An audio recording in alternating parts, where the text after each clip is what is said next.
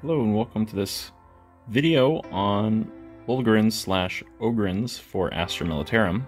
Today we're going to go over paint schemes and a quick and easy way of getting these guys on the table and being happy with them. So we're going to start off with base colors. So for these guys, I unfortunately primed them black, which I wouldn't recommend.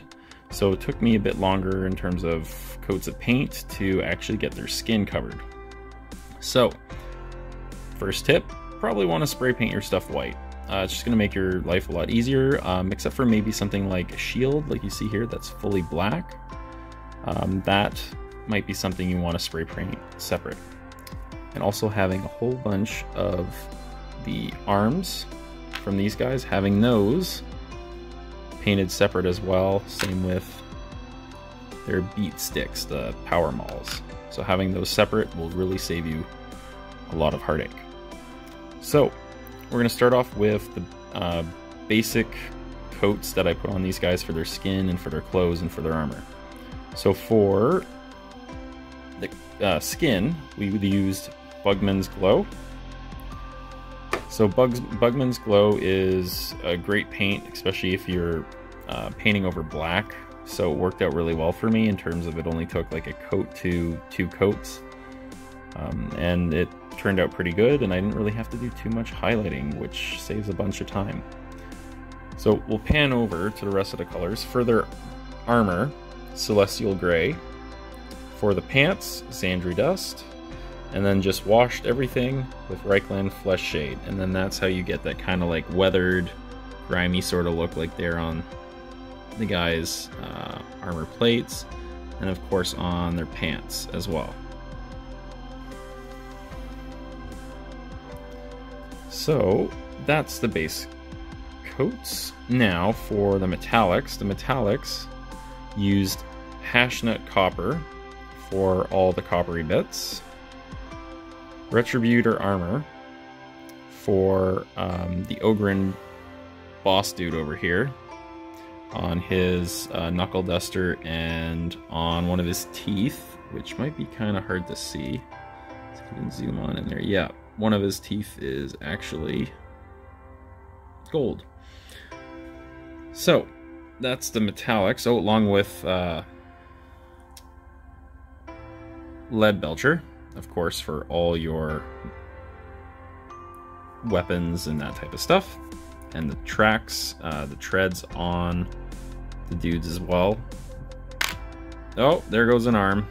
Glad I got that on camera. So I haven't magnetized these yet, so hence the arm popped off.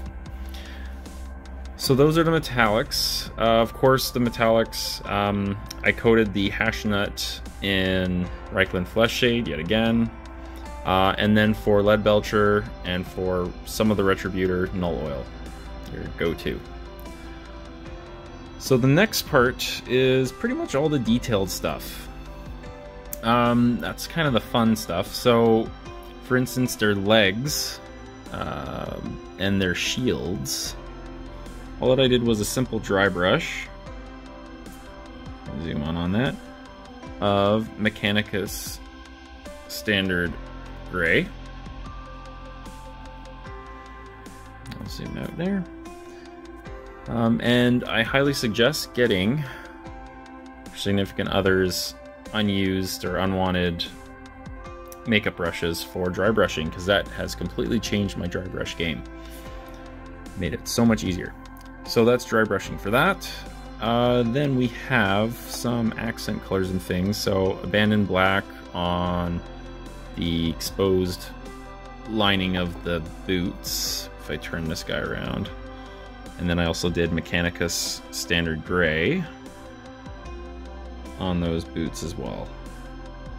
So just again, a simple dry brush, nothing too crazy. Saves you a bunch of time.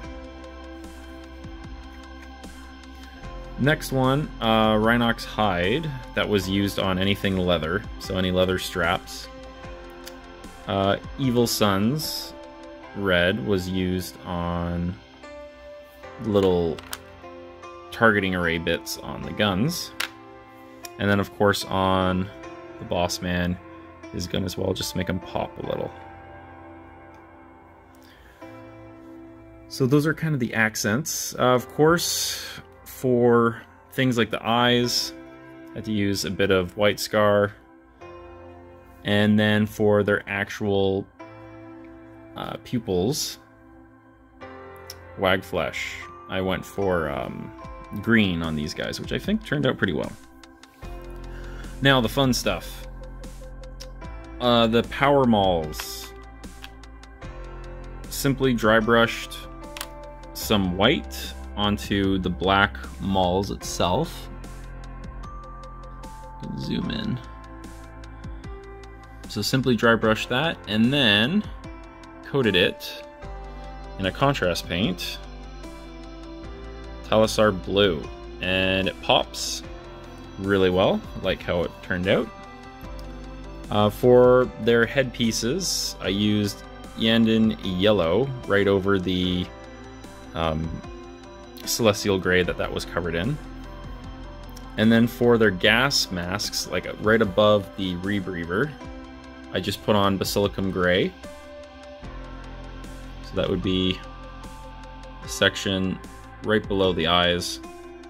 And now for the eyes, used Aethermatic blue on top of the Iyanden yellow, which made this green and then just simply put on a bit of white scar and there you go. There are your lenses. Uh, and then for the last little bit on the bad boy here, we're gonna go ahead and zoom on in real close. On his cigarette, that's again Rhinox hide, a little bit of Ab Abaddon black, and then I mashed in a bit of the Evil Sunz uh, Blood Angels contrast paint as well, and a bit of Iyanden for contrast paint, and that created that neat little effect. And there you go. So that's the Bullgryn all said and done. There's four more over there in the back for a total of nine with all the arm attachments, which I need to magnetize later on. So that's going to be fun time doing that later. So again, it's always best to start off with some simplistic colors, wash them, see if you like it or not, and then from there move on. Um, some other little tips too. Some of these arms have some indents for tattoos. Just simply put Nuln oil in there, boom, you're ready to go. Or if you want to color it, throw in a contrast paint. Alright, so I guess we'll leave it there. Hopefully this has inspired you to do some hobbing of your own.